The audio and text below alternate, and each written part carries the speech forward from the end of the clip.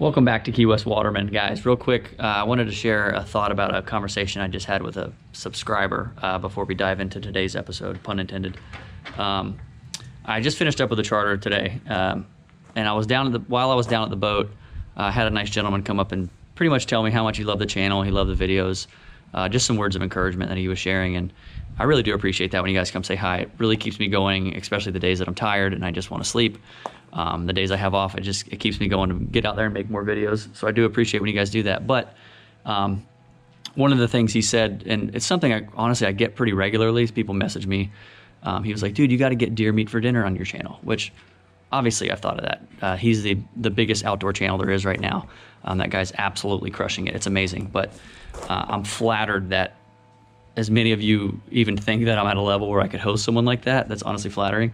Um, but number two that guy's inbox is probably brimming with emails of people reaching out to him trying to uh, you know do collaborations and just make videos with other people that's the biggest thing you can do as a youtube creator starting out is to get on get with someone you know who's got a big following and and um, get your channel started that way so I, I got to thinking about it and i really think it's a long shot but i got to thinking on my drive home all the hippie stuff madeline my girlfriend tells me about you've got to speak it to existence the universe is listening and all that good stuff so i figured what the heck why not give it a shot um, but I don't think me reaching out is probably the best way to do it. Um, I think if Mr. Deer is anything like myself, uh, he cares about the subscribers, and a ton of you guys have asked me about it. So I'll leave it up to you guys.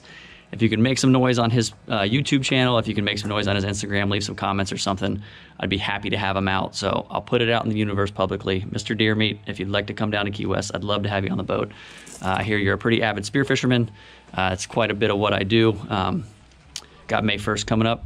May 1st and 2nd, grouper opener. I blocked those days off to film. So, uh, worst case, nothing happens, and I'm going to keep making videos. Uh, best case, I'd have uh, you know deer meat out, and it'd be, a, I think, a pretty epic episode. So, um, but enough of me talking. Uh, appreciate it, guys, and uh, check this one out. Hope you like it. Good morning, boys and girls. Welcome back to Key West Waterman. My name is Aaron Young. Um, as I said uh, in previous videos, I'm starting to block days so I can film more. Today is one of those days. unfortunately, the weatherman was a little wrong. We had planned ahead of time to come do some spear fishing. Um, there's a front moving in. It was supposed to be here around four or five o'clock.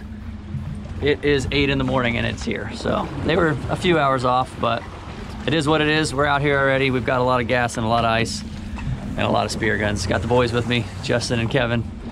Um, we're almost to the first spot. We're starting to suit up.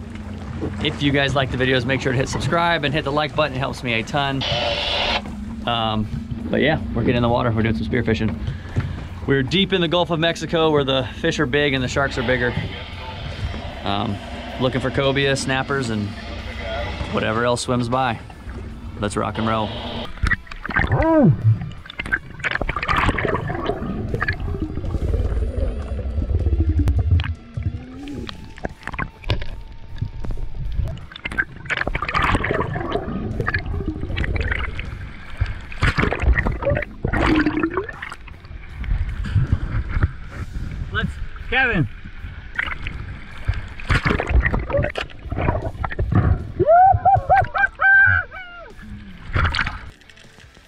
So I wanted to share some of my thoughts on some of these dives and fish. Uh, this was actually the first fish I shot. The shot was a little higher than I had intended, um, but sometimes it happens. And this is a situation that is not good, but something that you often face with hunting cobia is uh, line management and getting wrapped in lines. This is a bad scenario. The fish comes flying at me with a shark chasing it. Uh, gets the line pretty bundled up there around my arm. You can see it on my right hand. I did everything in my power to shake it off. Uh, that's a bad situation. You do not want to be near that line. Do everything in your power to swim away from it. Right here kind of looks like a cluster, but I assure you I was not in the line, uh, doing everything in my power to stay away from it. But I ended up securing this fish, so got a little lucky there.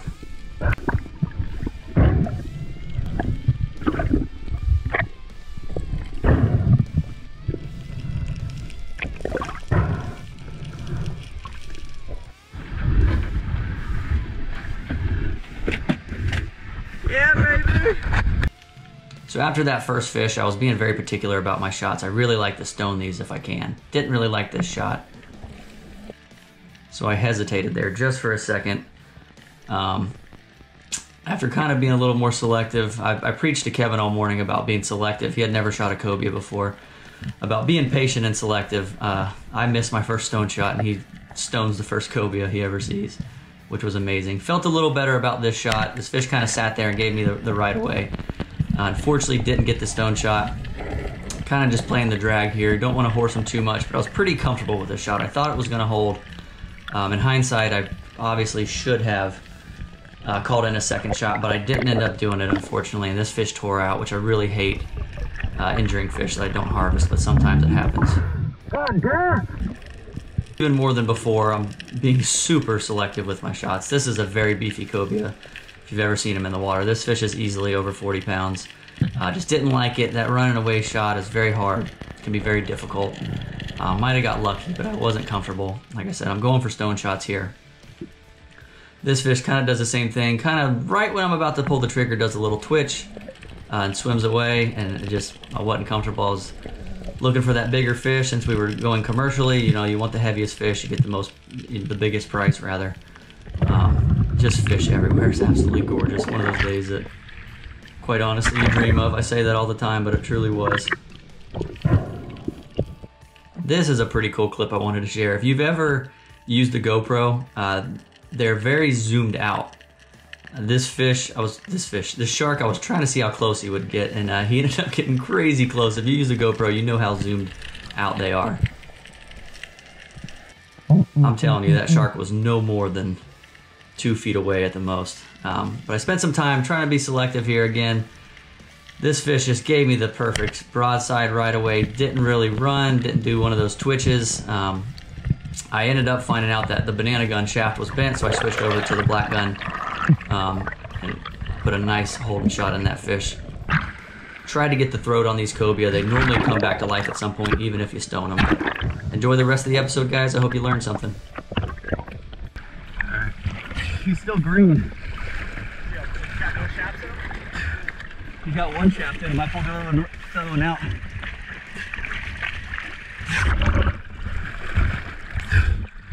Got him. Hold on. Holy hell. So all hell broke loose right when we jumped in. Cobias everywhere. Like a day I've never never even seen. It just got to a point where we were just swimming around looking at them. There was just that many. And uh, like I said, weatherman got us. It's pretty gnarly out here. But we got our cobia limit.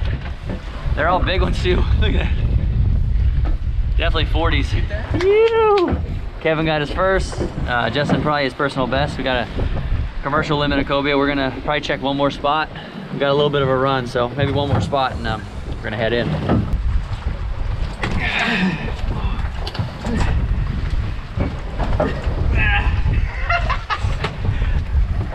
A day that I will never forget. Holy moly. I never seen them that thick. Unreal.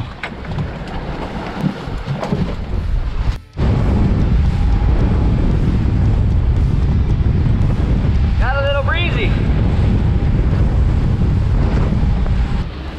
That is a wrap. Last spot was kind of a bust, just cudas and sharks and other whatchahoozits. Little sporty sun finally came out. Got a little bit of a ride in, so we are gonna get going. Get back to the market and get these weighed up. Have a commercial breakdown for you. It's been a while, so happy to share one. I'll see you guys there.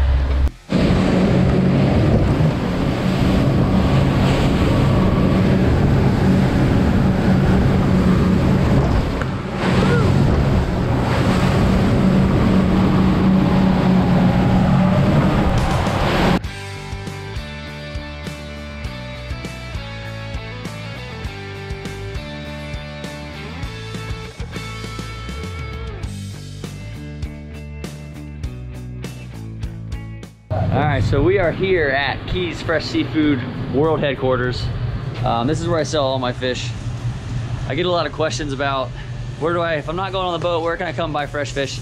This is the place, Keys Fresh Seafood uh, on Stock Island. Tell them I sent you, they'll, you'll still pay full price, but at least you'll know your fish will be fresh. Uh, the cool thing about this place is it is owned and operated by fishermen, so um, you're helping people stay working, and um, like I said, you know your fish is fresh. So once we get um, get the check for this, I'll, I'll break it down for you guys and we'll um, see how we did today. All right, I am back. I have a commercial breakdown for you. It's been some time since I've done one of these, so I'm excited to share it. Um, I know you guys like this information, so I enjoy sharing it with you. Uh, but before I dive into these numbers, I did have one quick thought that I wanted to share. It's probably not going to be that quick, but um, I think, if you're wondering what that sound is, Tipsy is eating what's left of a T-bone. Um, I think of all of the videos that I put out, I think the commercial ones probably received the most negative feedback, and that's fine. I get it. Um, as long as there's people, there are going to be problems. You can put anything out on the internet. Doesn't matter what it is. Someone's going to disagree with you. That's fine. It does not hurt my feelings. I promise. Um, but instead of arguing with those people, I thought maybe I could take an opportunity to try and educate some of you and maybe help you see a little bit of perspective for those of you who do see these videos negatively um, and aren't as educated when it comes down to commercial fishing and what we're doing, why we're doing it. Um, and like I said, hopefully perspective. Uh, perspective is a very powerful thing without commercial fishermen like myself, countless others in the Florida Keys, and not to mention all around the world, um, your average everyday person that doesn't have a boat, doesn't go fishing, would not have access to fresh fish. They just wouldn't. Whether it's at your favorite restaurant, the local food store, local seafood market, there would be no fresh fish coming in. Um, so just keep that in mind. And I think of all of the ways that you can commercially harvest fish, I think spearfishing is one of the, if not the most sustainable selective way to do it. Uh, we have absolutely no bycatch. We're not killing anything unnecessarily. We're not dragging big nets. We're not long lining. We're only taking the fish that we are targeting. Um, so before you get on the comments and tell me that I'm this terrible person destroying the oceans, um, maybe just keep that in mind. We're I'm just one guy taking a couple hundred pounds here and there. Um, just honestly trying to enjoy my life and enjoy the process of making a living and enjoy my time doing it. So uh, keep that in mind. But uh, that's my rant. Hopefully, I didn't take too long. Let's get down to the numbers. So we went out for cobia, landed right on them. Just first spot everywhere. We, it turned almost into an eco tour because they were just swimming around us. It was insane. Um, we ended up selling $1,075 worth of cobia.